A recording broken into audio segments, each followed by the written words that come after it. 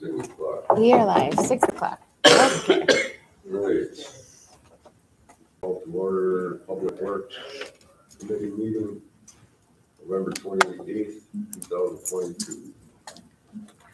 Uh, Alderman Abbott, Here, Alderman Reese, Here. Alderwoman Olson, Here. a quorum is present.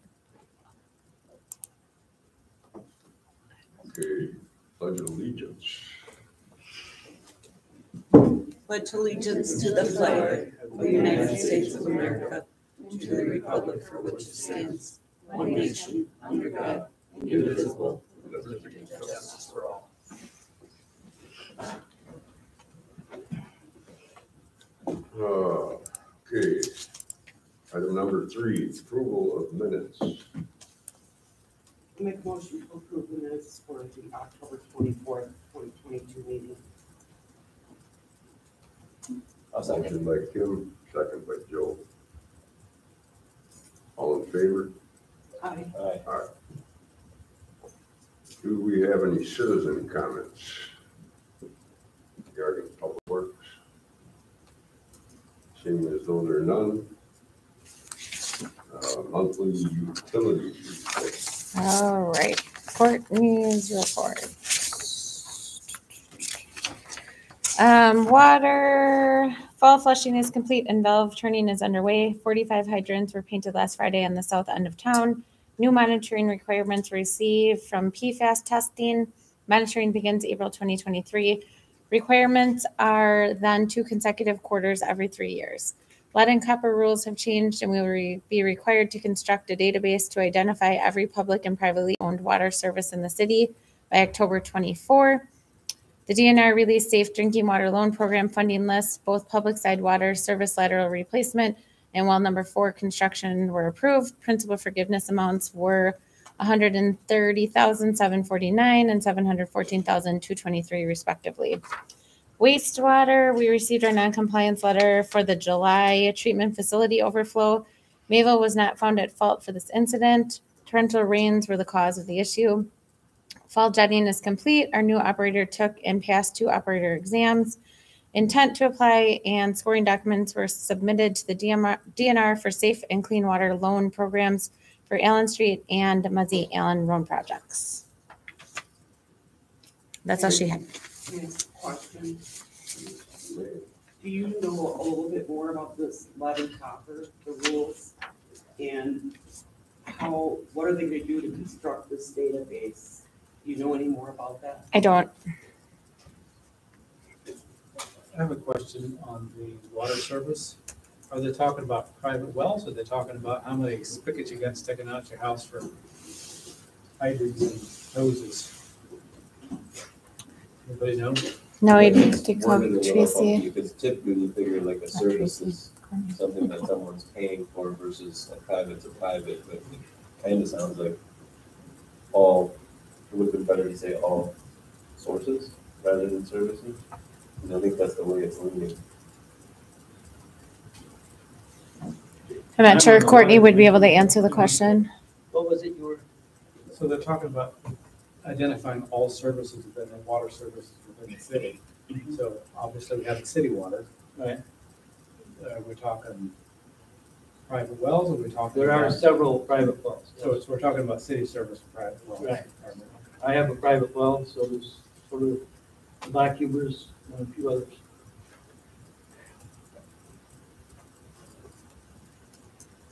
Thank you. Questions answered. Thank you. Uh, moving on to number six, monthly engineering and planning report. Okay, next report, 2022 pavement maintenance program paving project work has been complete, waiting on pay request. 2022 Bridge Street Town and Country is working on uh, punch list items. 231 Breckenridge proposed martial arts studio, waiting for property owner to submit the conditional use permit for review. Once the conditional use has been approved, the occupancy permit that was filed can be reviewed. Hacker Self-Storage Development, the proposed self-storage development in the River Knoll Industrial Park is progressing.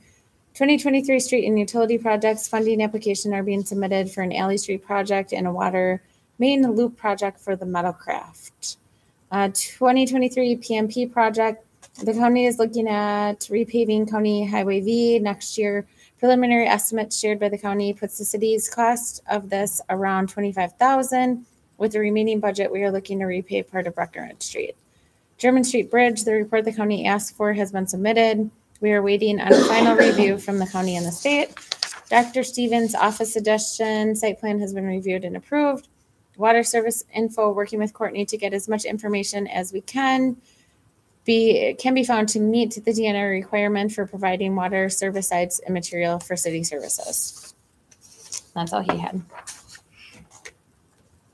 Thank you. Moving on to number seven, monthly DPW report. Are you Jack? I sure am. Leaf collection. We have two crews out daily picking up leaves. Posted a notice that the last day of collection was eleven twenty-three, but there are still a few piles out and they're picking them up since the weather's still okay. Leaf collection has been very costly this year with the crew and the gas prices. Brush pickup. This is now once a month on the last Monday of the month. They worked on it today and will finish tomorrow if needed. Um, December's pickup date, the twenty-sixth is a holiday, so they'll collect on the twenty-seventh. And that's all he had. Thank you. Monthly park report. And John. Uh, buildings report. Rentals will continue to be strong through the end of the year at the Pavilion and Senior Center. Rentals at the Pavilion are at about 125% of pre-COVID numbers, and the Senior Center rates are 175% pre-COVID numbers. We are starting to do our yearly building maintenance of painting and floors. All seasonal buildings are winterized with just a little more inside cleaning to do. Grounds report. The leaf mulching in the parks is done for the year. All shelters have been winterized for the year. The only park that stays open all winter is the dog park, and we'll continue to keep that maintained. Dan has been cutting trees in the parks and the city properties. He is hoping to have all the ash trees done by the end of the winter this year. As soon as the weather continues to stay cold, we will be putting an ice skating rink north of the senior center. We did receive two more quotes for the Ziegler Park lights to be replaced. These bids are half of the first bid. More details to come in the future. Senior Center report the seniors are continuing with cards and bingo weekly. They are taking their trip to the theater show this week in Coloma. They are also planning some Christmas activities with a member meal. And that's all he had. Thank you. Item number nine, uh, discuss with possible action curb at the corner of Bridge Street and Horicon Street. Okay, there is no corner of Bridge and Workham Street. Bridge Street and Main Street. right? Yes, By Sweet Peace. right.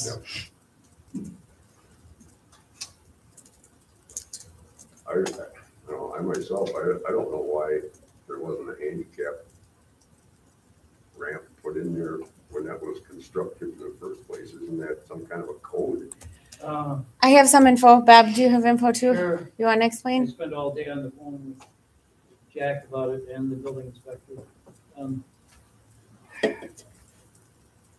At one time, there was a shed over steps that went down to the basement of that building from the outside.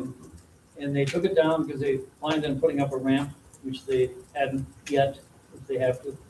But they walled, they filled that in and walled it off because at the bottom of the steps and underneath the sidewalk, is, there's a room that was constructed in about, I think nineteen twenty, and it was done with, uh, it was redone again in nineteen eighty with structural, structural concrete beams. That's an old, old sidewalk that goes all the way out to the curb. And if you slice that away to put in a, a ramp, it- the estimate then, when they did Main Street, was thirty-seven thousand dollars, now it's sixty-seven thousand dollars.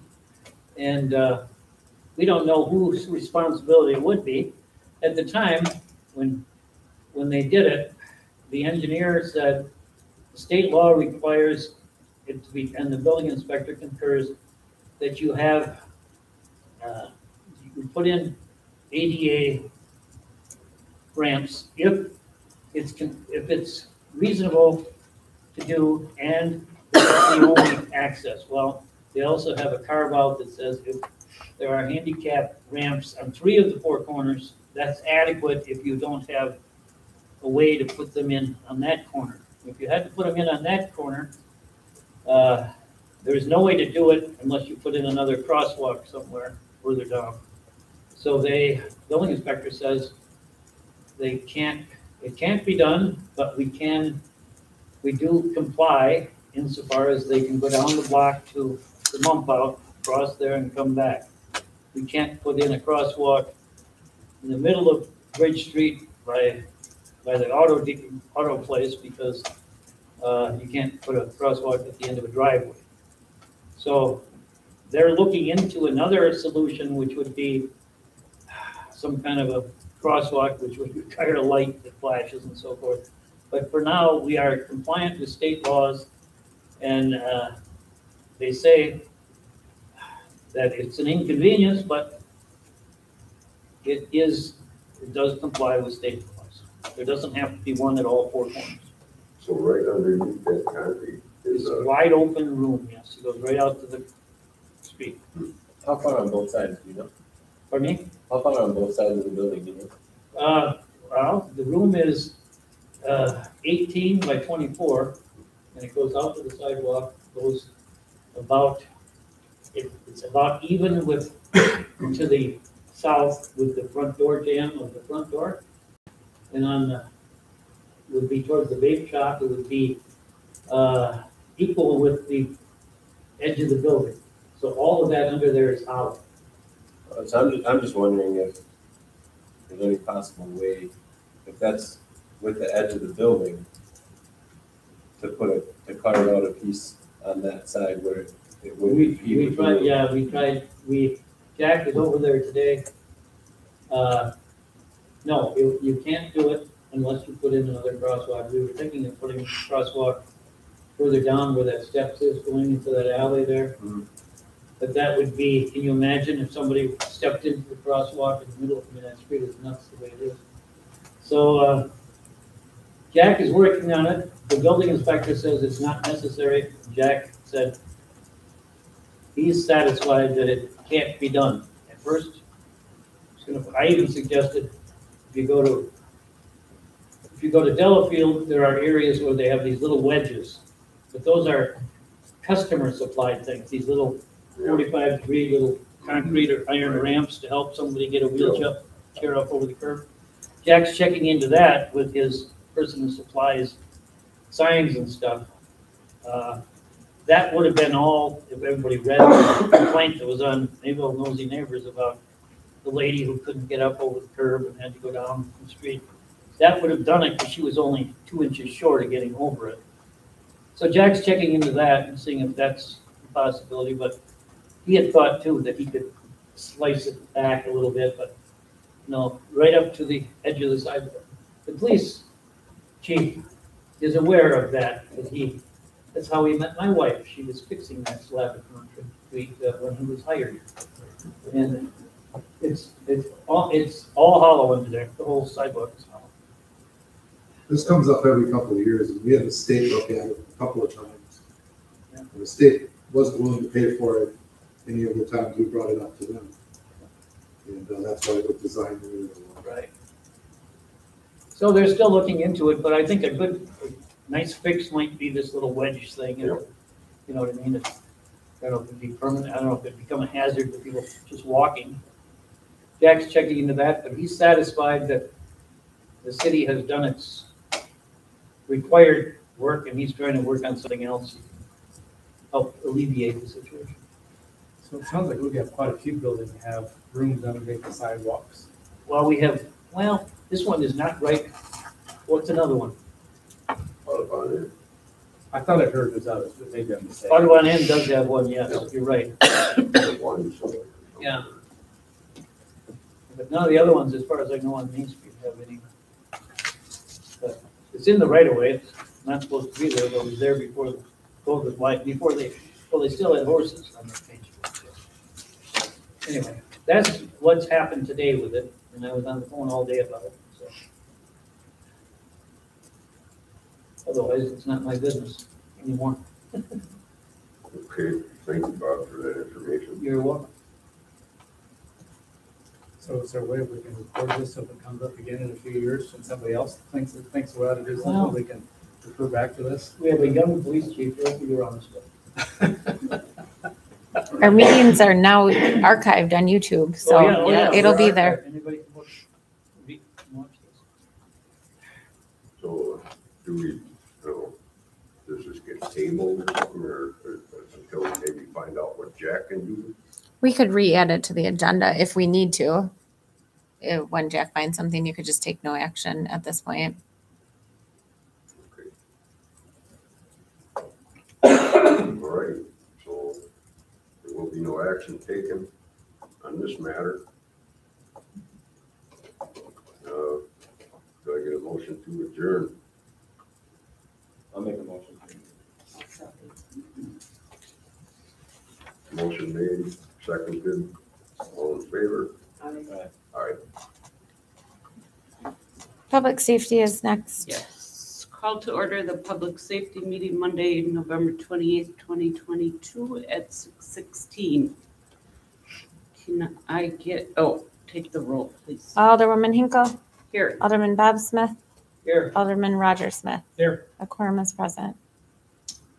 Um, item number two, approval of the minutes of the September twenty-sixth, twenty twenty-two meeting. I'll make a motion to approve. I'll second it. All those in favor say aye. Aye. Aye. Any citizens' comments for public safety? Hearing none. Number four, monthly EMS report. Good evening, everyone. Can you hear me okay? have some Yep. Clear. Okay, hi, Christine. All right, perfect. Uh, our calls for service report, about two weeks ago, we reached over a thousand calls for this year. Um, so I, I know every month I'm like a broken record, but we are incredibly busy. Um, and we have six weeks to go this year, for this year, so we expect that number to continue to rise. Right now, we're about ninety-two calls ahead of where we were last year at this time. Um, number two, for our staffing update, uh, We're very happy right now with our staffing numbers. We continue to be pretty solid. um, But that can change in a heartbeat. Uh, You know, losing one good EMT can make all the difference for us. It takes at least- at least two years to train an EMT to be a meaningful member of our service.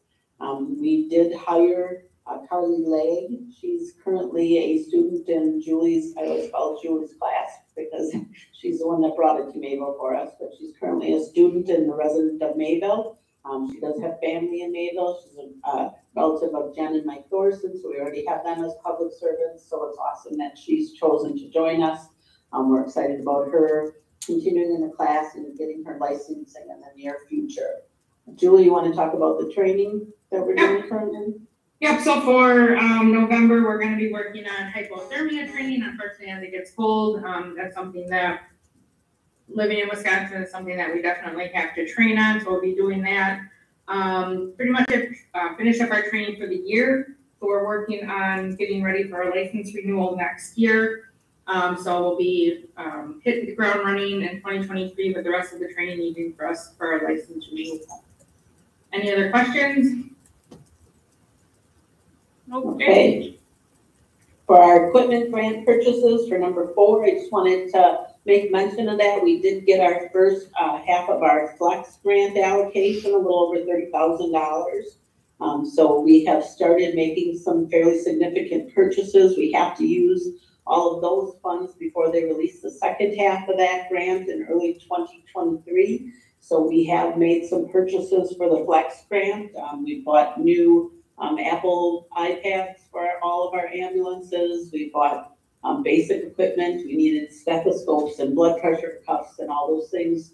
Um, we made it our mission a long time ago for those of you that are newer, um, to try to buy most of our EMS equipment. We don't put that on the tax rolls. We've done it through fundraising and for grants. And so we continue to be very fortunate to find ways to make that a reality for our budget and for um, responsible spending. So, uh, we, we've been buying several things, but that will all come, out of that grant, um, flex grant purchases. Um, we also got a larger allocation of our FAP, and I think at our last meeting I mentioned the stair chairs that we are buying. That is over twenty-five thousand dollars to buy three stair chairs. Um, the difference in the new stair chair is that we'll be able to, by a press of a button, bring a patient upstairs or downstairs, uh, patients that are three and four hundred pounds. So, um, the, the wear and tear and possible injury to our staff is greatly reduced by equipment by this, like this. So, um, we also have those on order. We won't get them till spring. But again, I'm required to spend those dollars, um, to get the other half released. So I did, uh, we did make the purchase on those and we'll get those not until spring, but we, we needed to pay that. Um, the last thing, can you still hear me? I'm sorry. Yep. Yep. Okay, um, the last thing I wanted to bring to your attention tonight is some repairs that we had to do to one of our ambulances. Um, ambulances are heavy and we had some some suspension issues. We had an ambulance that was riding very rough. And, uh, we did take it and get a quote and this isn't something I need to bring to council for approval, although it's unbudgeted funds. Um, they were, it was over seven thousand dollars in repairs, um, to replace the U joints and things like that um, and springs that needed to be taken care of. Uh, but those funds come out of our equipment replacement fund. That is our contract monies that we have with our townships and villages. Those fund, funds are specifically for uh, either a repair or a purchase of a new ambulance. So this is an unbudgeted repair, had to be done. We can't have an ambulance that is unsafe to drive and this one was to the point of being unsafe. Uh, it has since been repaired and Julie and Devin did pick it up over the holiday weekend and it's back in service for us. Uh, any questions that you have for me at all or Julie? Nope. Thank you, ladies. Okay, Thank you. yeah, thank you. Number five, monthly fire department report. Good evening, everybody. We'll have John start with the equipment update. Good evening. Uh, For twenty-nine sixty-three, uh, the repair guys coming either this week yet or next week. Uh, We got an auto loop on a pump that needs to be repaired. And they're gonna do the engine compartment insulation. That's, they finally having time to do that. Um, I don't know if it's gonna happen yes, yet this year on twenty-nine sixty-four. We have some wiring that needs to be cleaned up from different people wiring things, it's, there's a lot of joints, so we're gonna just run wires, so we don't have any shorts anywhere. Sixty-five, where we're gonna start replacing, uh, the cylinders I told you about earlier in the year. A window finally opened, and we're gonna pull one out. We're gonna try to get two done this year, but we don't know what the time frame is gonna be once we get that one out, put the new one in and send it out to get rebuilt. Um, The cylinder's paid for already, so or no, it's not paid for, but it will get paid for this year, and then it'll just be labor uh, for the other three, and then when we're done, we should have a spare, because there's one truck we don't have to do this. We replaced those cylinders about five, eight years ago. Moving on, uh, seventy-one, it did pass its ladder inspection and the PM just on the ladder portion and the, uh, the outriggers. Uh, It did pass all the requirements they put loads on it and they see if there's any drift. They have a, a chart and everything was in specs on that, so that was, uh, good. Um, Twenty-nine seventy-two, we have no issues at this time. The command unit, twenty-nine eighty-three, we did have the fuel system repaired. Uh, it was a chase after, after, after. We wound up spending close to eleven thousand dollars to get it to run, so it is running now. Um, sometime this week, I'm gonna run it up to Fond du Lac. We still have air bubbles in the fuel system and it acts up once in a while. Uh, they said we just need to run it hard and when we're going up a hill, really hammer it to try to put it, to force more fuel through.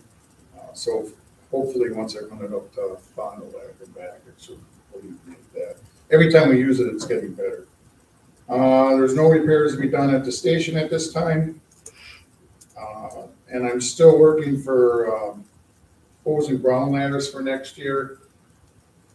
I can get somebody to do it, but it's double the money, but I'm still talking to the company that used to do it, which is half the money. They didn't have personnel last year. They're, they're looking at twenty twenty-three to see if they can come in Wisconsin. If they do, they said we would be at higher on the list.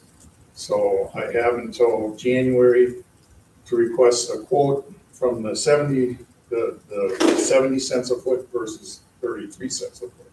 So we'll let you know where we go on that. That's all I have for equipment. Any questions? All righty, have a good night. Thanks, Jen. All right, guys, for the second portion for personnel, uh, we're currently at twenty-one members. Technically, we're at twenty-two, but, uh, we hired another firefighter last week. Uh, he's still going through the process. I believe he's heading over to Beaver Dam to get all his medical screening done, then we'll be up to the twenty-two members. Uh, unfortunately, we have, uh, one member that has some pretty severe, uh, health issues, and we just got notified yesterday that he's gonna be taking a leave of absence, might be permanent. Um, he's one of our longest serving members of forty years. Um, so I'll keep you guys updated. I'll let you know what's going on there. I'll let the PFC know what's happening there too, case we have to do retirement or whatever. Um, we currently have, uh, two members that are in firefighter one and hazmat class. They're gonna be graduating here soon. So every member that is currently a firefighter will have their firefighter one certification. And we do have one that is enrolled in fire officer one class. Uh, we also took a poll we only have a few firefighters that are not Fire Two certified, which is pretty significant uh, certification. Um, And about half of those uh, firefighters said if they want to get that certification, this they will have about ninety percent of firefighters be uh, uh, certified firefighter two, so it's pretty good. So any questions about that? Thank you, Yeah, what guys. do those certifications, the classes mean? What's the difference between a one and a two? It's just more training, it's more specific. So firefighter one, um, how it was in years past, you just have what's called entry. And entry, I think originally was thirty hours, do you remember, John? I think it was thirty to be and sixty to be certified. Um, and then what the state did is they keep on, which is one reason why it's so hard to keep firefighters, they keep on raising the bar. Um, so now they want everybody to be firefighter one, especially if we're gonna be providing mutual aid to any other county, to any other area through this MABAS, our mutual aid box alarm system. Um, so what we did, we kind of took the bull by the horn and I said, hey, why don't we just get firefighter two done, taken care of? And that's the highest certification that you can do in the state of Wisconsin for a firefighter. After that, you jump into the officer certification. So we have several firefighters that are fire uh, officers certified, fire one, fire officer two. So that's about as high as you can go. Thank you. Thank you. You're welcome. Thank you. Good evening. Um, I'm quite busy. We have had eighteen calls since our last meeting, so we're um, hundred and fifteen year to date, so it looks like we're on pace for hundred and twenty-five if this continues. We've had four that involved with uh, EMS assist. There was four um, calls for uh, gas or gas leak. Two death investigation assist, two fire alarms, uh, one exhaust filter fire at one of our local factories, uh, a garage fire here in town, cornfield fire, which we assisted Kekoskee on, one for down wires, and then one water rescue, one, one car accident. So uh, that's where we're at. Any questions? Yeah, the fire, the gas, uh, line break downtown, was that a broken line, an accident, vandalism? The one at, uh, uh, Don Ramon, Yeah, do Yeah. can you say? No, I cannot say. Um, I will say this, the problem's been taken care of. Um, the business was closed down by Alliant Energy. It was a significant gas leak. There was a risk of explosion. Um, so we evacuated about a block around that and, uh, the levels were very, very high, but I cannot get into the details of the call, obviously, for privacy reasons. But, uh, I, they were closed, they were open today, so I understand that they must have got it fixed right away. So, All right, thanks. Great, thank you, guys. Um, monthly police department report. I don't have anything. Thank you, All Ryan. is good.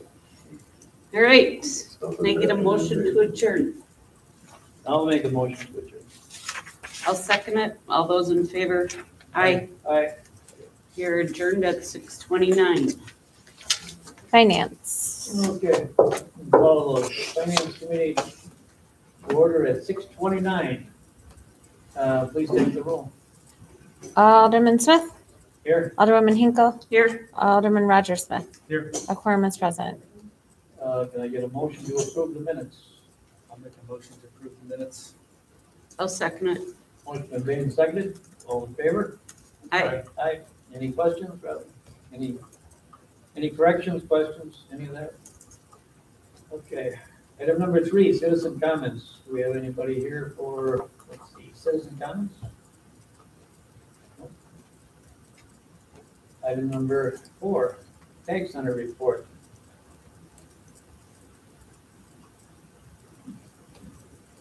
Good evening, everyone. Hope you guys all had a good Thanksgiving. Um, starting off here, we got the membership report. Um, like I said this last meeting, it's kind of hard to look at these numbers because we're at the end of November already and we're looking at October numbers. So, um, but just some notable ones, we have twelve more one-year family memberships in October. Um, 10 more monthly family memberships. And then just in general, uh, daily users, we have from September to October, we have over 120 more people using the aquatic center, um, over 30 uh, people using our fitness center, and then uh, like 150 uh, more users in our gymnasium. So those are great numbers to see. Um, I know just today, from being in the office, I had, I, I had eight new memberships come in, all different types, so we're on the up, we're on the up there. Um, any questions on membership report? All right, moving forward, I got the staffing update. Um, we did get someone hired for weekend and nightly, um, front desk clerk. She, her name is, I don't know if I disclosed that yet, but, um, she will be starting within the next week. Um, we still are in need of a nighttime and weekend cleaner, custodian. Um, no interest with that yet, but we're hoping comes forward. Lifeguards, uh, we are, my opinion, thankfully, no longer with the YMCA. And we are back to, uh, staffing lifeguards here for the city, um, as of October, or sorry, November fifteenth. So we are looking for more lifeguards, more, um, open swim lifeguards or daily when we're open from um, four forty-five to noon every morning. We are covered, but just the weekend shifts and open swims. Um, those are big, uh, times where we are not fully staffed, um, just to have access to the slide and whatnot. Any questions on staffing update? You offered, uh, if the lifeguards you have, give them a bonus if they get a friend to come in and recommend a friend, like, you know. Right. Yep, um, we did give them all bonuses this pay period just for the fact of going from the YMCA and Right. back. Um, I'm talking about a special bonus if you get a friend to sign up. the right to sign up. Well, I haven't thought about it. Yeah, that's the way to, I'm looking for more, we have a lot of high school kids and they're all great, um, but just more, like, uh, maybe a retiree or something like that, so. But I will keep that in mind for sure. Uh, tank maintenance report from Scott Homensberger. We had a water leak over the weekend, a pipe broke in the men's locker room. Uh, there was damage to the drywall and paint on the ceiling. We had Bernard, Bernard Plumbing come and repair, um, it this morning. Fitness equipment, Jason Maxwell from Lifetime, Lifetime Fitness has been here and he has been working, um, at all of the preventative maintenance on all the machines. It's being done and it should be done by tomorrow, thank goodness. Um, and then previous daycare and new party rooms, so Jamie's Clubhouse rented out one of our, uh, it was like a child's, an early child's, um, center room. But we are, we cleaned that up since they are no longer at the tag, renting it out. And we, um, we painted it, we cleaned it all up, patched all the holes in the wall, got the kids smell out, and we're ready to rent that out when it is needed. So that is that. Any questions on maintenance report?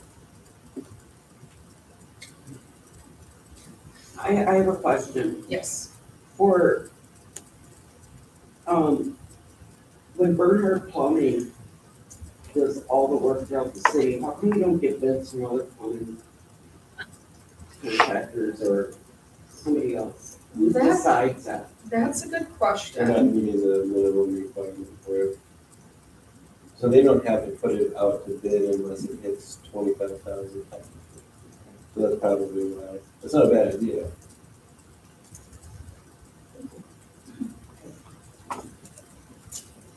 All right, on to recreation report. Um, swim lessons are going great. Uh, those high schoolers are great with those kids. I mean, it's amazing. Uh, we have hundred and thirty-six total kids throughout all three days that we offer them. It's Tuesday night, Thursday nights, and Saturday nights. We have three more weeks of them. And then they're starting back up in February. Um, every other Tuesday until the middle of March, we have big toss and ping pong leagues at the Maple Park Pavilion. Um, it's kind of cool to see all those people on a Tuesday night light up the pavilion and have a good time, hang out, drink beer. That's what they do. so they're a fun group. Uh, we have 12 bag toss teams and then six ping pong teams. Uh, women's sixes volleyball is going great. Uh, we have 10 teams for that. It's every Wednesday night and that goes to the middle of March as well. So that's like a 19 week league. Thursday pickleball league um, is in session. That goes until December 22nd. Um, I'm make, at the start of the year, I'm making this into, into the one pickleball league into two, one more beginner league experience. So just to get them having more fun, I think we're gonna make two separate leagues for that. Youth basketball is going good on Saturday mornings. It is from eight to ten at the tag. Uh, we have forty kids signed up for both age groups. Uh, one age group is three to five year olds and first through third grade is the other one. Um, and that goes till December seventeenth. Um, couple plans for twenty twenty-three. Uh, I would like to do another volleyball camp, basketball camps with the high school coaching staff for both of those sports. Um, how staffing goes with our lifeguards, I would like to do movie and swim programs and craft and swim. Um, and then I would like to bring back hosting kids basketball tournaments at the tank. Yeah, when I was a kid, that was like the big thing. I always was in a tournament at the Take Center every year. Um, so I'm gonna try to get on Wiz, it's called Wiz Hoops, I think it was Wiz Hoops, I think it's not Wiz Sports. Um, and I can get interest from teams out there, so hopefully we can bring, um, some revenue in there. Those are very well attended and popular. A lot of people in them all. Definitely I don't know. brings business to downtown and all that stuff too, so. That is the recreation report, any questions? Anybody? No. Thanks a lot. Thank Well you, done. Kaylin. Of course. Okay, item number five, treasurer's report. Yes. Okay. So for October, we are 83% done with the budget year for expenses and revenue.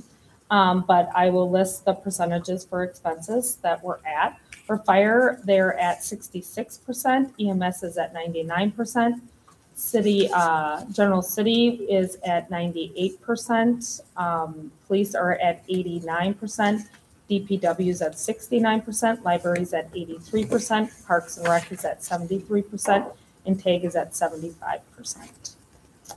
Um, on the ADP front, ADP ran a mock payroll the week of November 18th to match up uh, with the payroll we had just run, um, and they got everything to match ours. Um, so this week we are going to go live with ADP. Um, I will be doing it the first couple times um, to get all the kinks worked out. Once everything looks good, we will have a meeting with the department heads and show them what to do. Um, we feel that it would be nice for us to know what we're doing, so when they have questions, they can come to us and we can walk them through it and everything. Um, uh, so really, um, some things that we did that I think it'll be pretty easy for the department heads. Most of them just have to put information into a spreadsheet like they have been doing. Um, so we set that up in ADP uh, Workforce now. So it's a it's kind of their name, the payroll code, and then put the hours in, kind of like they were doing. So if that's what they want to keep doing, and we find that most of the department heads do that, some one of the modules that we have with it, time and attendance, we may not have to keep with it. Um, we'll see see how that goes. Um, I finished up the preliminary audit with Baker Tilly on uh, November 18th. Um, we had a meeting, um, when we were done and everything went pretty well. They got everything they needed. Um, there's some new GASB rules for leases and special revenues that we're gonna work on with Baker Tilly. Um, uh, and they will be working on the twenty twenty-two audit, November fourteenth to the, through the seventeenth, and again, uh, March second and third, they're kind of splitting it up too, because they need a lot of info and that kind of helps us at year end, get some done for one time period and then another. Um, starting the next few weeks, I'll be starting year-end rec- uh, reconciliation of accounts, um, like WRS. They, uh, have a bunch of reports that need to be, uh, done for year-end, special reports that they require. Uh, then last week, I worked on getting the county all the specials and charges that needed to go on the tax bills. This week, I'm sending the county the mill rate forms, all the levy sheets, the statement of assessment, and the PC two oh two, which is our tax increment worksheet. It's gotta be all done and sent to them, and then the statement of taxes are due December nineteenth to the county. So that's what I've been working on. It's been a busy month. When we get our tax bills? Hmm? When do the tax bills come? Um, well, I believe it's plan around the tenth, we'll be sending it out. It's usually, we like, we usually get the taxes the, the beginning of the second week of December, I would say. It's Kind of the beginning to the middle of the week and then we send them out. It just depends on the county. And how they're doing and maybe how weekends fall. Okay, Anybody have any questions for Tracy? I do. Yeah. Um, on page seven. Packet, uh, well, pack page twenty-four. So you'll have to let me know because I don't have, Oh. I don't have access to your Well, just packets. So do you know which sheet you're looking at, which, uh, report? The comptroller. Uh, Write-off uncollected. What, what does that normally go for? What is that? I have to look. Do you know what page? Sorry, which page you are you on? Um, the page seven, the little letter seven, says packet page twenty-four. Okay, page twenty-four.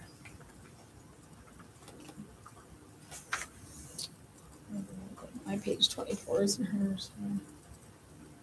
She's looking it up for me. I don't, I don't have the packet things. Okay, which one are you talking about, Kim? Would help if I give you the number. Yeah. Uh, ten dash five one five, five one zero, dash zero seven, dash three eight one, dash Here. zero zero zero. Comptroller write-off uncollected. Um, that's just if there's some bills that we, uh, would write off at the year end that we can't collect. Most bills would go onto their tax bills. We always budget a little bit, um, for it, but I haven't, I mean, I've only been here, you know, one year. So I haven't written off any, but, you know, after a while, you would look at some of them to see if, if they're collectible or not. Also, we would use the, I forgot exactly what it's called, but we go through the state and we could intercept their taxes also. Um, personal taxes if there's bills that aren't being paid also. So I don't know how much we'll really use it a lot or if we've even really used it in the past, but that is what that's there for. And most businesses have a bad debt write-off that they can, that they can Okay. do. I was just looking at the No, that's- miscellaneous, the write-off, and I'm, I just wanted to know what, what does that involve? What, No, that's a what do great you question. use that for? Yep, so that might be extra money that we may not use, but then it's there if we need to write something off. Thank you. Any other questions for Jason on her report?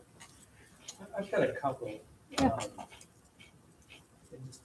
Maybe help me understand. I'm looking, at- I'm kind of getting in the weeds here a little bit. So for example, on the weed control, we've got a budgeted amount of zero. Um, Last year we spent fourteen hundred, almost fifteen hundred bucks. This year we spent four ninety-five and it's, the dollar amounts don't mean anything. I'm just curious how, how we wind up with such a disparity from one year to the next. I I don't know if that's something you can answer or not. So is it in the revenue or the expenses that you're looking at it? Is it like a fund number and then like a Public charges for services.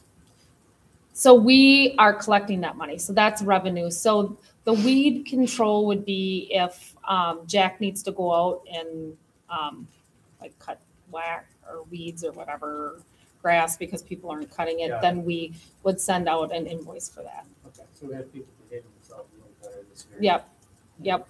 Thank you.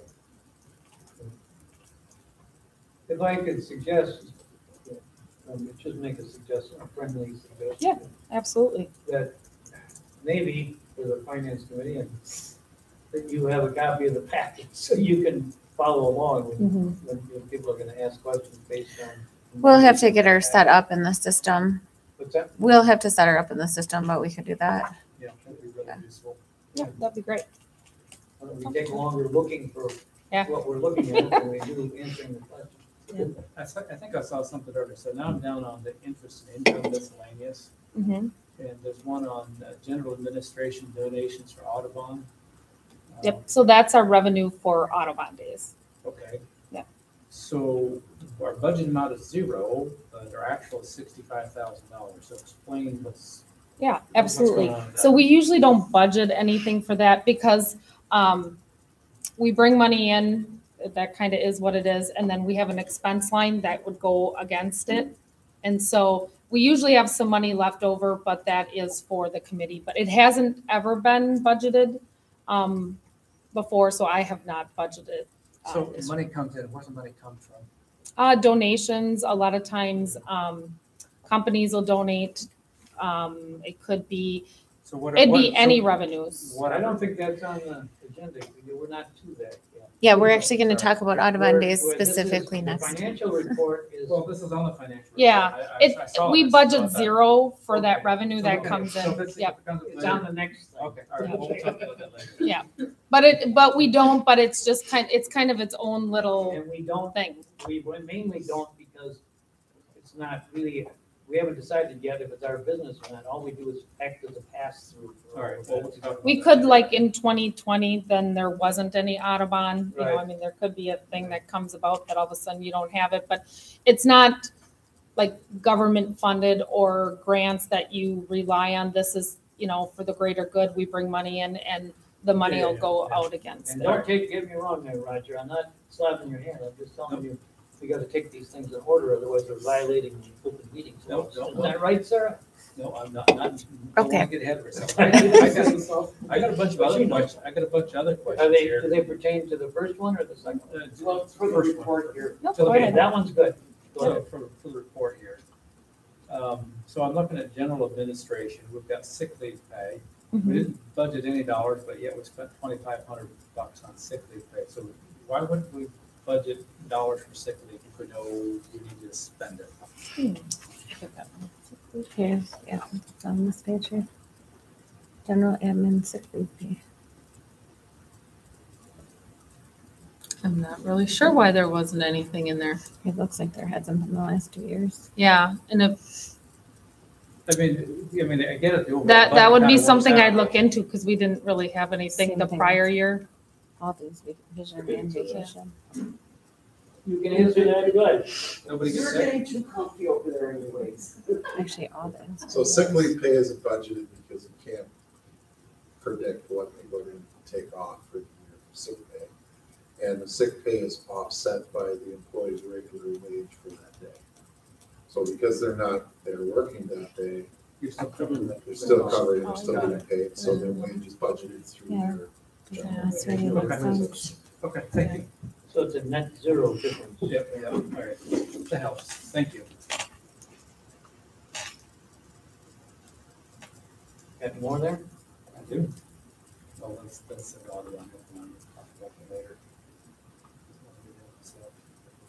Um, I think my last question is we have, uh, something called data processing. What, what is that? It's not a lot of That's- dollars, but Data processing. Yeah. Is this um where the wise guy stuff goes? Yeah, a lot of the wise guys goes in there, but I can find out exactly for sure what's in there and then send you a report of it so you can see the Barbara, breakdown. what is in there? Our Uh, IT Wise Guys. service. Oh, okay. Okay, that, that answers my question. I, Oh. That's, that's for the Alabama. Wise guy, oh, that's. what Wise it guy, says, yep. Wise guy. So, yeah, you- yeah, you're gonna send the wise guys after us. I thought you were calling Roger a name. All right, thank you. Yep. That, that answers my question for this time. Anybody else have any questions?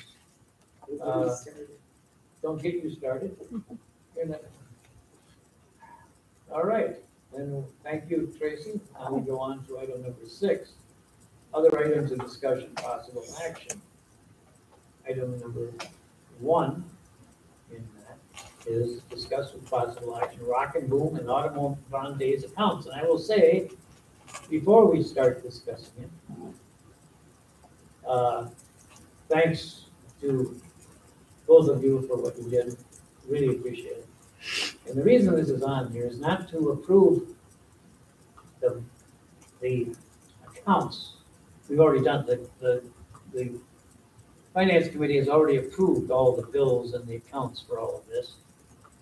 Uh, But we are, we are mainly deciding to move the balances, or if you would call it profit, which consists of the money they made over expenses, plus the money they started with from the last time they had an event, to the next group who's going to, and that's what we're here to decide, what kind of group it's gonna be, the next group that's gonna handle it. It, it's, uh, you saw there's a letter from the attorney in your packet. And, uh, I give you a little history if you don't mind, Sarah. The previous mayor had, had an idea to start up a festivals committee or a event committee, which is probably a good idea. We have so many events, you know, Easter baskets and Audubon days and, and Rock and Boom parades. And it might be, in downtown Mayville uh, has a few things, and Maxwell Street Days. Some people incorporate their, their uh, farmer's market into that. And that's a good idea, although it's fraught with a couple of problems of its own. Because if we have a city committee doing that, then it's subject to open meeting laws, and you have to publish an agenda, and you have to do all kinds of jumping through hoops. It's hard to be government. I mean, because the, the volunteer groups we had were easy, but that puts a little more pressure on the city hall to take in all the money, keep track of it for them, so they can give it back to them at the end of the year. And so we have to decide, I don't know if we can decide tonight, maybe if we can get some, is it okay to have people in the audience talk? I imagine it is. I think so. But I would just, I would quick go back. We're not necessarily changing groups. No. We're really deciding if the city is going to continue to Right, maintain or the we're gonna have private finances groups, or whether groups. their groups are going to maintain the finances. Rock and. Boom is pretty much fine, it's been work, working fine. If you remember the, uh, Chamber of Commerce used to handle, uh, Audubon days until they overspent or lost a lot of money or lost interest in doing it, and then we had some people gladly take it over, and it was a success. But it's, it's a one, one's a one-man operation, the other is a one-woman operation, and it's a taxing. And, uh, I don't know if it needs more structure to keep going, to make sure it keeps going. Uh, How do you guys feel about it? We go up there. Sure. Actually, these new things will pick you up Oh, right yeah, there. you don't have to. So for Rock and Boom, um, there's a few things. Number one, um, the, if the city decides to not hold the funds and not sign the contracts, um, it makes it really hard for a private citizen group to run Rock and Boom purely with the sen, with the, because of the, uh, possibility for a lawsuit for, uh, I mean, the guy who blows off the fireworks has a five million dollar liability limit. The city has, I have no idea, I'm assuming five or ten million. But if a private citizen group were to try to run Rock and Boom and something bad were to happen, that private citizen group would be named in that lawsuit. Um, with the city approving, signing the contracts for the fireworks, for the bands, for all that stuff, it lies on the city and the city has statutes of limitations where they can't be sued for large, uh, large sums of money. It protects that, uh, that group that is, that is running. Um, The history of Rock and Boom is it started as a, uh, being run by the firemen. Then firemen stopped doing it. Mike Kurtz kind of took it over. That's how it became the city, uh, a city run, I guess, not city run, but a city budgeted item. Um, so I guess that's, that's kind of where Rock and Boom stands. How does it, is that a private committee? Do you have a, just a bunch of people get together or? what Uh, is it's, it? it's a committee, uh, the funny thing is, is that I believe the city attorney is on the committee. Um, The, Mike Bearwald, and so it's Nolan, Mike Bearwald, Tom Schusler, myself, Don Gint, and Tim Baki. So it does have legs. It'll keep going even if you decide. Yeah, it's kind of, it's run by, uh, collab- a collaboration of the Lions, the Rotary, Main Street Mayville, the Chamber, and the city. Okay. And the, okay. Uh, well then, how about, how about Audubon Days? You wanna speak? Yes, uh, so I, I don't, I guess I don't have a preference either, either way. The safety of the money, I guess, that's always been a, the money portion's always been a little scary to me, but, um, the only thing I liked about the city portion was that I, I, Audubon Days doesn't have a four oh one C or any sort of paperwork to back it up, so I had to pay tax for anyone that required the documents to say Audubon Days specifically versus just pushing it through with the city of Mayville, I had to pay tax on, on everything. So that, uh, that would be nice to have that. I didn't even think about the liability portion. I guess I thought since it was on the city card, it was already covered under that, but, or at your own risk. Um, so I don't care either way. I guess I would just have to have some kind of a checks and balances system in which, because I don't want this coming back on, on me, that, that there has to be some kind of triple signature of money being taken out, because it is just me. As like an actual member of the Audubon Days Committee, I have plenty of volunteers to help me, but as for a committee, it is just me. So I, that scares me just a little bit, having one person having access to money. You know how much, uh, of your expenses were paid? I thought if you went to the hardware store or the grocery store, they have a. She could- Five oh one yeah. C three, I think. Yeah, she Yeah. could. I thought they had our tax numbers on Yep. file there. Like, um, True Value, she did use that, So No, I right? just- Somebody did? They asked me and I just, most of the, most of everything I just paid for myself and then I had the city reimburse me for it. Right, Then and there was, then there was a trail for everything. the city, but your committee could save all this tax money. Right? You follow what I'm saying? No, So if you bought, let's say you, you're saying you bought something at the hardware store, for example, you just paid for it. Yeah. That receipt you turned in had sales tax on it. correct. So it's too late to claw that back, or it'd be a big effort to claw that back. But if you used our tax number just by saying this is for Audubon days, In some, in some places, we're okay with that, but for instance, like the beer license, I had to pay tax on all the beer. Cause I said, well, we, the, it's gonna be under City of Mayville, well, the, the license was under Audubon Days. You do, you would have to pay tax on, on the beer unless you have a seller's permit, right, so. that, or you could have somebody else handle the sale of the beer as well. But the beer is one thing, I'm talking about all the other stuff. Oh, right, I Build a mean- stage and you, uh, those are some of the things, I mean, you'd have more income, you'd have more of a profit if you didn't have to spend, you'd, you'd save five and a half percent if you weren't paying sales tax. And you don't charge sales tax when you resell it, do you? No. The other, the other thing is, I, I guess, this maybe isn't hundred percent pertains to it, but I would like it to be a four oh one C or something separate, just because I have a Donations. really, Five, five oh one. five oh one, yeah, whatever. Because of the donations. Donations, um, a lot of people had also asked me where the money goes, and I don't have Right. really any, except for the city takes it and uses it for, because per my understanding, if the city wants to, they can take out of that account, and I have Yeah, they wouldn't. money. Yeah, but they, they, we kept it just physically you wouldn't, guys, yes. right, But I if, mean, I guess. if guess, you wanted to, you have access to it, it is a city Right. account. well, when they, like, if somebody does donations, it has to go for what the donation was for. Right. So- If you had a five oh one C three. Yeah. They would give you money, you'd tell them, you would give them a receipt for this charity or purpose, and they would be able to claim it. Uh, okay, a lot of people are reluctant to, to make donations if they can't claim it.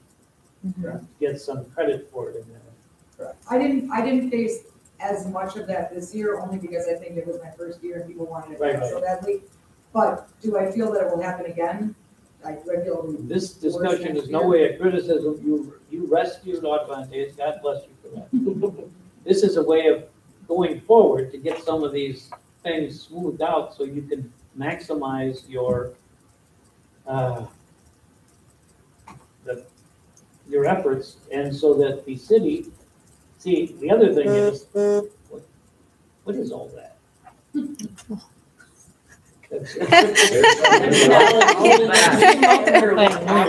So-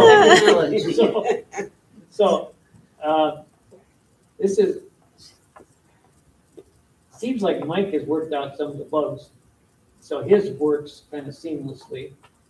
And we might have to work out some of the bugs, so yours, does. the, the way it's working now, it creates, the city finance has to approve all of your bills one at a time, that's where we do it as we do. Uh, And that can be a hassle, and our financial officer is a little bit taxed right now, and so is our lady at the window taking water money. So all of the receipts coming in that way are, can be another level of effort by them. I'm just saying, this, this, this committee and the council has to decide. We have a lot of events that I want to see keep going, Easter basket stuff and, and, uh, uh, the parades and, and all of that. And maybe we should have some, some shell for these to work out of, because that gives them legs, then they last longer, you know what I mean? And there has to be a way we can buy stuff or purchase services and save the sales. We're not required to pay sales tax, we're a city. Right. Um, so, I don't know, Sarah, you, this is mainly, what do you have to add to all this? Um, I would, I, we're fine with doing either way. We would continue to, to do it. We probably will have to iron some things out with Audubon Days. Rock and Booms really has, you know, it's been going on long enough that it's seamless. We write out a couple checks. It's not a big deal. Audubon Days this year, because it was new and because it was three days versus one day, it was a lot of work on our side as well as Kristen's side, obviously. But Lisa spent a, a good, good deal of time, you know, organizing, sorting, paying bills for Audubon Days. Um, so that's something we'll have to think about from Kristen's side, being that she's paying for everything for herself and having to be reimbursed is kind of a pain for her Right. because it's taking, you know, sometimes a, a week, week and a half to get the checks. Um, whereas if she would take the money and move it into their own account, you could get a debit card or a check or something to pay these expenses. Obviously, you'd have to have some kind of committee or something Right. behind it approving it. Because Um, when she's paying for it herself, she has to pay sales tax, and then we Yeah. do reimburse her for that, but that's really something I'm trying to You cut can down claw on, back. is the You sales can- You tax. can file for it, you can file for it after the fact, it's more trouble than it's worth. But I'm wondering if she could use a, I don't know. we- Can I make a suggestion? Sure. For Audubon Days, and this, this, it doesn't take a whole lot of work, but you could set up a, an account at the place, the accounts that you do business at. And then instead of turning in every single receipt, you're turning in a, you're sending a statement of, Right. you know, like like at Piggly Wiggly, it could be City of Mayville Audubon Days. Mhm. So That's, it. the, the difference between Rock and Boom, I guess, and, and Audubon Days is because Rock and Boom has the collaboration of, of everybody else, they're not, the city isn't paying for food or beer or any of that stuff, that's the Rotary Club is handling. it.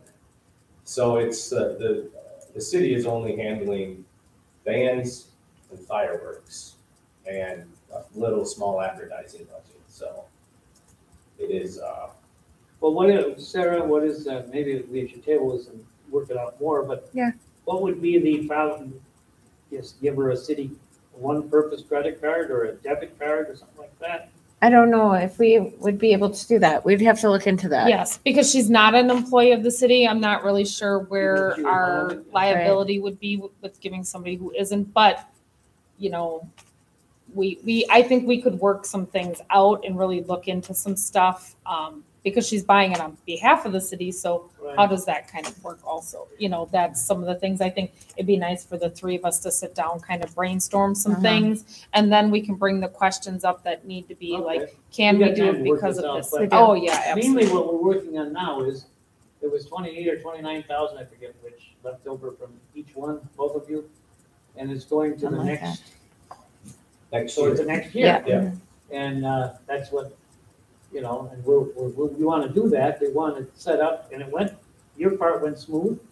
Her part was the first year it went smooth for that, but we have other things we might wanna add to this, like the Easter egg hunt, or the Easter basket thing, and some of the other stuff, if there's gonna be more celebrations, events, you know, follow the same thing. So I don't know, do you have any idea, do you have, uh, I have a question. Can I say something with that? sure, Just with, because with the rec budget, I know the city fireworks, the rock and roll donations, we have like a budgeted amount on my Fund eighty-five every. That's just where we stick Put it. the money. So could that be like, could it be under? Like, That's, that's another where, account? that's where it is right now. That's where we stick the money. So But the, Even Audubon days? yeah, Audubon uh, Days has a similar thing to the fireworks where all the donations that come in, we stick in their own separate account. All the expenses that go out, we stick in their own separate account. You So see the there's a- fireworks. Yeah, right? you 'Cause see it's the in your fireworks. fund. Yeah. Right, Yep. yeah, but, but hers just goes onto like a different. It's, it's the same thing. It's just a different If account. someone decides Yeah. she needs a bunch of two by fours to build a stage, she goes and buys the two by fours, Right. pays for it, and then comes and turns the receipt into City Hall. Yeah. And, uh, that's fine to get Audubon Days back up again, and- but it's not a good plan for the future. Uh, Might be, might not be. So- My, my thing is, I hate for her to spend her money. I mean, that's a lot of money Yeah. she's spending. That, that could be hurtful. But that is something we can look into as different um, vendors and such we can set accounts up with. Um, The other thing we'll have to look into is contracts. So right now, um, really if the city is signing a contract like we do for Rock and Booms, they should be coming through finance and council to approve the contract. Where Audubon Days, we hadn't done that. It was just like, you know, Kristen's signing them and whatever, but really the city is on the hook for them if something goes wrong. So we'll have to talk about contracts as well. Yep. Yeah, so we Yeah. need, you know, we need the proper chain of custody and. Yeah. So can I make a Sure. motion to table it until you We three have some more meet information. and We You gather should, more Molly, you- I would information. appreciate if you get a little bit involved too, because you handle one of these things uh, pretty much yourself, don't you? She took mine over. Oh, she did? Okay, well, Sarah, didn't you help Sarah with the Easter basket thing? Was that just- No, I That's did my- Audubon days, the last two Well, years. Easter basket though is like, you know, we We're raise like good. nine hundred, we, we fundraise nine hundred dollars. That, that would be a bigger pain for the city than just Yeah. running that through, through the bank. Um, I mean, that's pretty easy because it's nine hundred dollars. It's not twenty, twenty-nine thousand raised, twenty-eight thousand spent, and then, you know, the, the liability behind it. All right, so Okay. Molly made a motion. I'm gonna make a motion to table this until you all brainstorm and we'll bring it back. And I'll second. Do you want us to brainstorm like a solution? I mean, I don't have a solution because I think that if the city were to tell me, we're gonna, we're gonna need you to take the money out of the city and, oh, you know, open up uh, a LLC and, and start your own five oh one C three, I would say, well, then the city can just. I know, you might be part of her brainstorm, you might be part of brainstorming her, Or or ideas, ideas straight, help her out. Yeah. okay, I mean, you know, you got yours worked out, we've gotta get hers. Mike Kurt's got it worked out, I just Once follow the state of suit. Wisconsin takes the taxes, they're gonna get it back, so it would be nice to get that. She made a motion, and there's a second, any other comments on this from anybody? Whether you're on the Thank thank you committee- guys for, thank you guys for running Rock and Yes. Booms and Yeah, Audubon Days. I- I- Thanks, I love the Yes. community events and I think it's really Absolutely. important. Please take the roll. Alderwoman Hinkle, Aye. Alderman Bob Smith, All right, Alderman Roger Smith. Aye. Motion carries three zero. okay, didn't mean to cut everybody off, but, and yes, thank you, thank you all. Good night. And Um, then- Item number two, discuss with possible action SQL server update. I think that that's the upgrade. Well, yeah, either way. Um, so we started working on the Caselle conversion that was approved a couple of months ago. And Caselle will not operate on our current SQL server.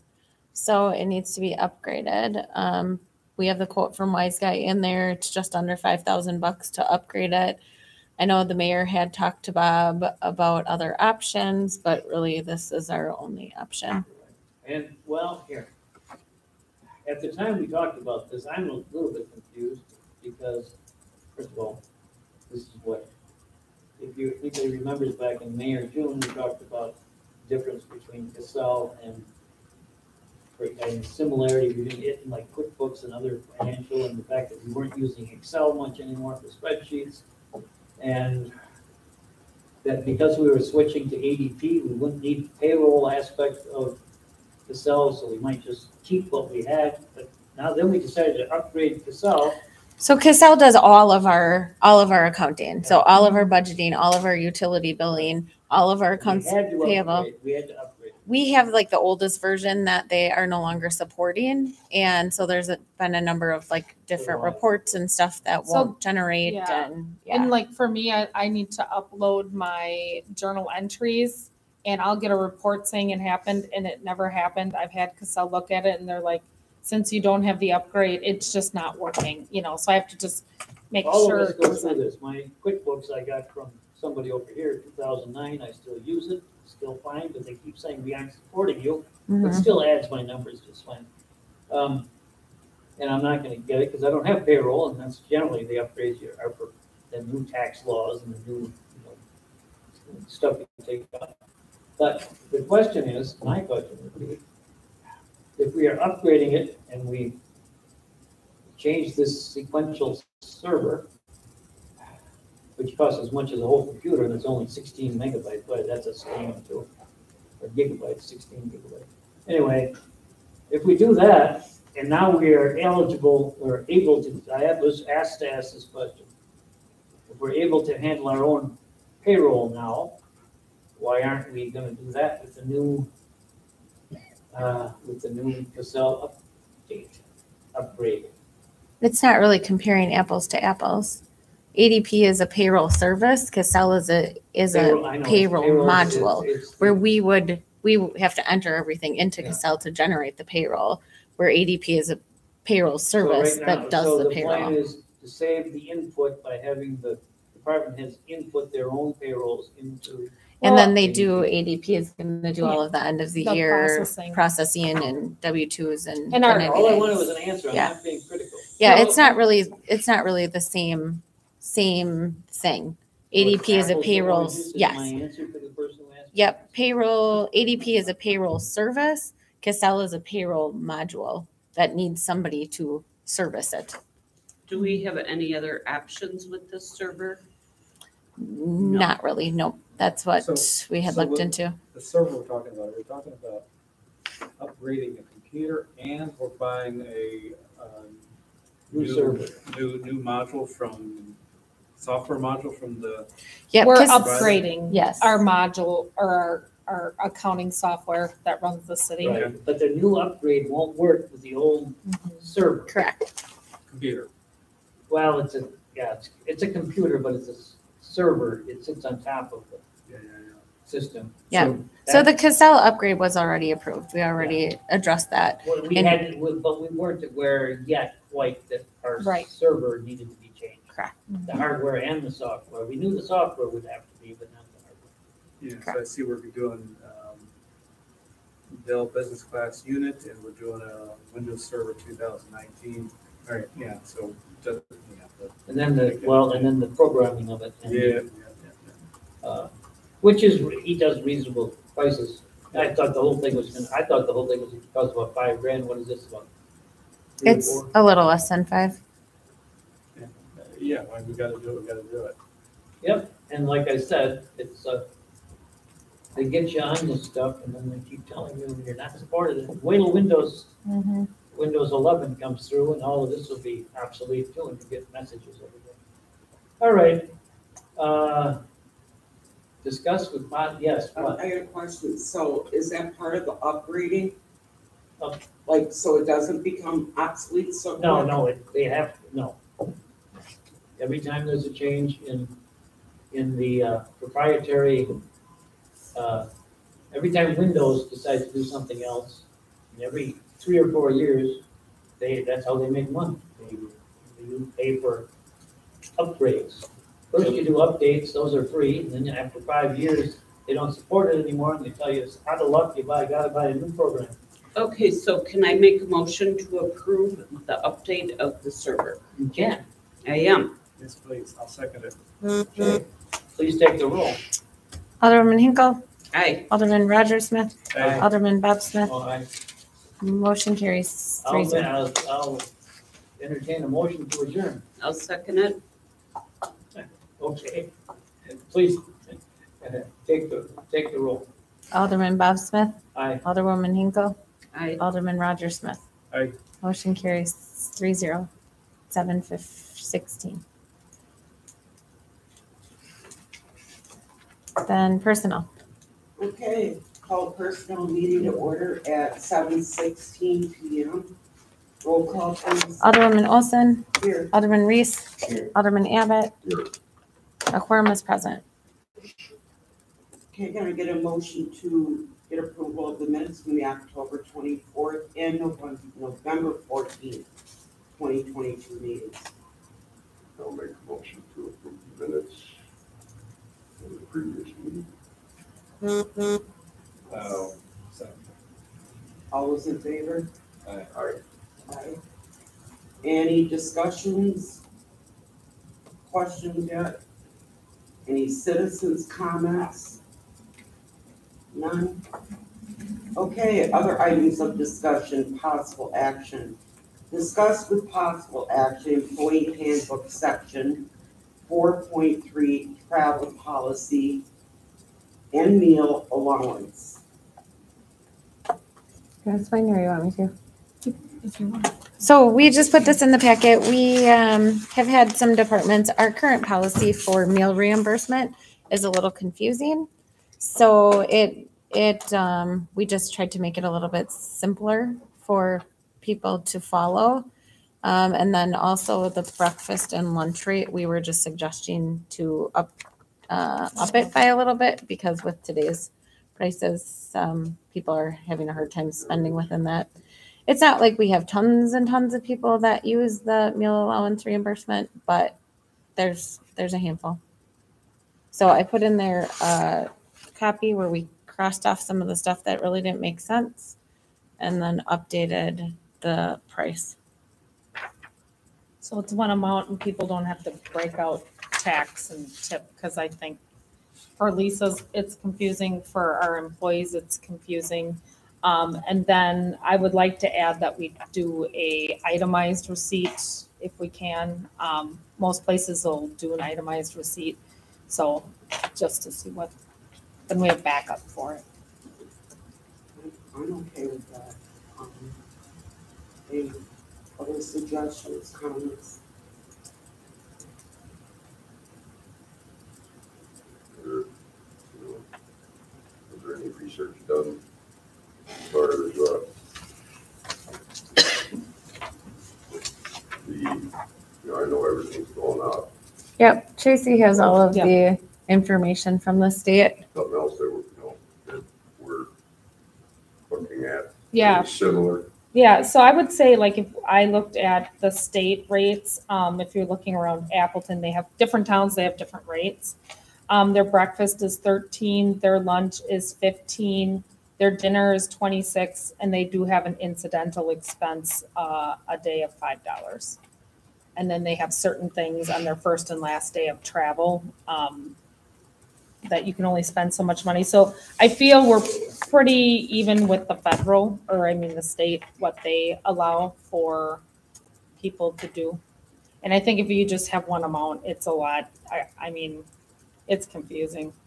And it's too time consuming. People don't want to spend that much time on it. Nobody does, so. So can we approve this tonight, right now, or does it have to be recommended?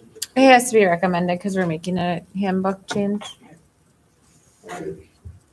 Um, I I'll have make a motion. I have one thing for that. Oh. Um, we just had a situation where we had an employee go and get, we had a bunch of reimbursement, he was at training for two weeks. And, um, what's not allowed is alcohol and, um, sales tax, which is our current policy. Um, what's being requested is that we have itemized receipts. And you don't always get an itemized receipt when you go to a restaurant that basically says you had a hamburger, you had french fries, you had a water, you had an order of this versus order an order of that. And I, I don't think that it's reasonable to ask someone to go up and get an itemized receipt for that just to get reimbursement. Um, My employees are probably the ones that use the reimbursement the most. It's not in our policy now that we have to have an itemized receipt. Um, I can't find any reason to have that. And, uh, um, from my side, I don't wanna chase down what people ate for lunch or dinner, um, when I hand receipts in, because frankly, I don't care. As long as they filled in with the dollar amount for that particular lunch or dinner or whatever it is, and they submitted the receipt, I think we're good. That's just my two cents with it. I don't have time for that, I have no interest in doing that, so. um, I've, I've traveled for work before, and what you're saying is consistent with what I've experienced. Nobody cares what you eat for lunch. No. Just, just don't be spending fifty bucks for breakfast. Yeah, that, and as long as you don't have a case of beer on there for dinner. Right, right. and, uh, you know, and whatever else. And I, I guess the sales tax that I get, guys, the idea that the city can't pay or shouldn't pay or whatever the rules are. Well, actually, for dinners, we're fine with the tax on dinners because you're not going to carry that with you because it's normally it did tax and tip. That's what it normally. It includes. always had tax and tip, Yep. yeah, including tax and tip. We just, we made the Okay, language a that little makes more, Yep. a little more, uh, So now everything's included, so people don't have to try to figure I can spend this much plus a tip. And with that one, he had claimed alcohol on a receipt, so that's why I Yeah, did. that was an oversight on our side.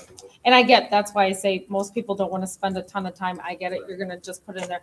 Mostly when I've traveled, I've been able to get an itemized receipt when I ask for one at the counter. If you forget, then it's really hard to do so. Or if it's a handwritten one, I've taken a, a picture of it and I've handed that in for, um, a receipt. I don't really care as long as it's very, like over a certain amount, you need a receipt, or maybe under a certain amount, under ten dollars, you don't need a receipt. I mean, I'm fine with that, but I want to make sure that it's, it's in the policy and I'm following it, because ours was kind of vague, and I, and I do ask everybody when they submit invoices or whatever, that it's itemized. Um, but if it's under a certain amount, we One, could do one that. place I worked is, if it's under a certain amount, you don't even need a receipt. They just get that, yep.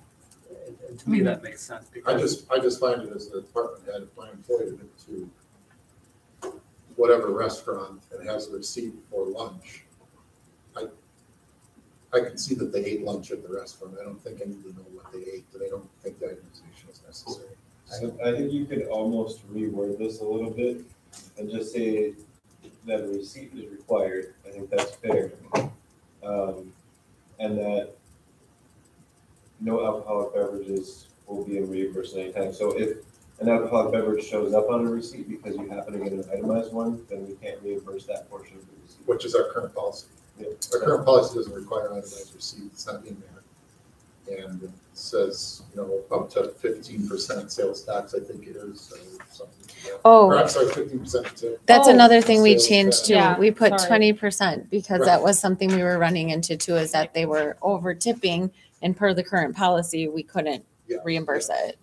So I mean, and I'm fine if we just want to give them a certain pers- amount per day, but then, yeah, a receipt. But like I that. guess, you I know, like that. we, we Yeah. just have to watch. That would make the it easier alcohol. for us and easier for Lisa up front, because we ran into it where she's computing every lunch and dinner, where a twenty percent Tip. tip was, so we're taking five percent off of that.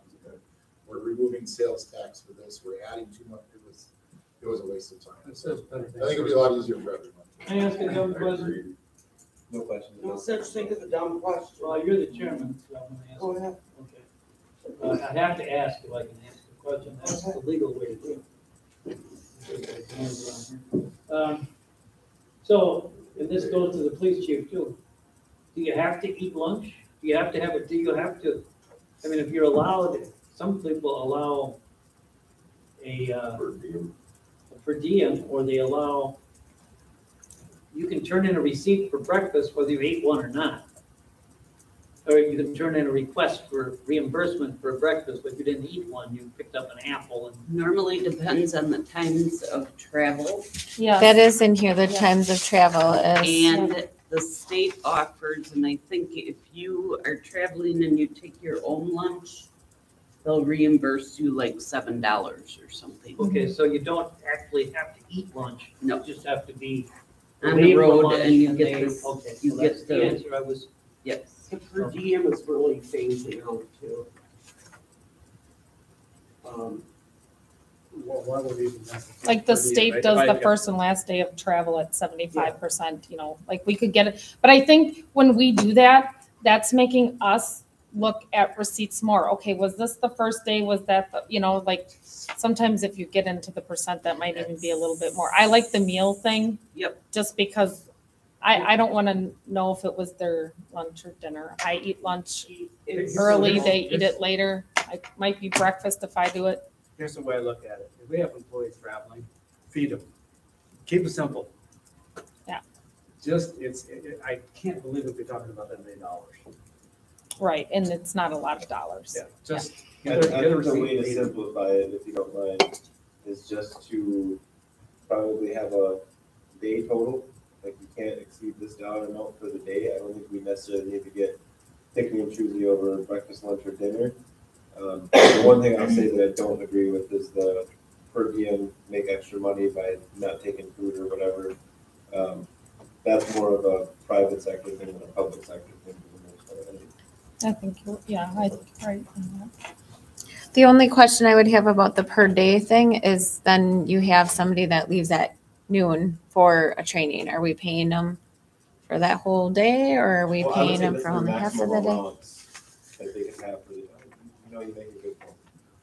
And We have it on the sheets where it's like, it, it has like breakfast, lunch, dinner, so that, that it's easy to put, you know, what mine, people may think is my breakfast is really my lunch because I eat early, but hers may be later. So, I mean, I would consider that a lunch and they can just put it on that line. I'm not gonna look at the time of day or anything like that, but you know, if, if they just want to put it on that line item per amount, I think it should be pretty easy. And for my department, if someone leaves for training for the day, their, their entire day is consumed in that training, that's when we would allow. That's what I've always looked at. If you left at noon for training, we're. So you have to be, your entire day has to be filled with that training in order to get reimbursement for it. That's the way I've always. it. That's how the state I think does that's it how too. it's set. So in that instance, they're saying that just having a total day allowance would be simplified? I like the total day allowance, but I also believe that they have to prove that they spent the money too. I don't believe that it's responsible to taxpayers to give them a per diem and just say, hey, here's the Right. money for the day, do what you want with it. I think that There still has to be a check and balance that's being used for food. Um, But, A receipt's reasonable. Yeah. but I don't think it's necessary to say, well, you get this much for breakfast, this much for lunch, this much for dinner. You just, what receipts do you have for the three and what it adds up to is what you get reimbursed if you exceed it. You get the daily amount that's allowed and anything over above that's your responsibility. So that, that's how I look at it. I think that's pretty much how I'm looking at it.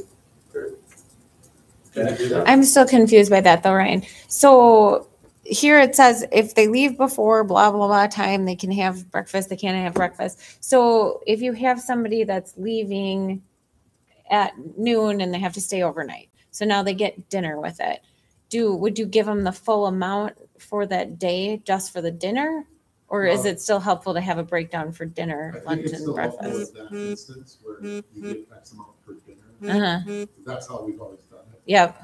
I think it might be easier on the employee to have breakfast, lunch, and dinner, and then they just know, oh, I'm gone over lunch, so I get a lunch or whatever. Then they kind of know. Yeah, and yeah, written. but if they're there for all three, then it's just a total amount. and then We don't have to mess with it. Breakfast was seven dollars and lunch was thirty-eight and dinner was fifteen. You don't get a total, you know, for, for the whole day. Then you, you know, you've got all three enters that give you. I don't know if you can you really do it both ways like that. I don't know. I was just thinking. So we could. One way or the other. Well, this, the scenario that Sarah just described is a little funky to me though, because you made it seem like they leave during the day and then they're staying overnight, so the breakfast would actually fall under the next morning if they're returning, wouldn't it? Yeah, I'm thinking like myself, when I go to this clerk's training, I have to leave on Sunday afternoon and I'm there Sunday night until Friday or whatever. So really, I'm gone part of the day on Sunday and then I'm gone for multiple days. So it's, I, in my brain, it's hard to break it down by day because in some cases, you're only gonna have a partial day. Right. Where it's really kind of easier to say breakfast I have fifteen, lunch I have twenty, and dinner I have twenty-five. Just, I think as an I think we should keep it that way, you know, people. Can't do it both ways. Right. You have to do it one or the other. Do departments heads or have any? this- Bottom line, I want to make it easy for employees to follow. Mhm. Easy for accounting, easy for department heads. And just make sure that it's a reasonable way for them to easily feed themselves without a whole lot of rigmarole. Um, I like the idea of set it rather than say an itemized receipt, just say receipt. Here's my receipt for breakfast, here's my receipt for lunch, here's my receipt for dinner. Receipts, no alcohol, 15, 20, 25, tip of 20%? Or do you even want the tip? We had amount there? fifteen percent before, but we thought we wanted to give the you option of people I think you giving gotta the put, twenty I think you percent. gotta oh, I'll put put up. five percent, because that's pretty normal anymore, I think. Mm-hmm. And you think that works for you, Ryan? Yeah, okay. Okay, can I recommend this goes to council then for approval? Do we agree to take off the word itemized? Yep, we'll I'm take good that if off of you there. guys, I'll follow what you guys do. I just wanna, I I interpret it as itemized, so as long as you guys are good without itemized, then I'll follow that. I'll make a motion to send this to council, uh, dependent on removing the word itemized under the allowance in section one. I'll second that.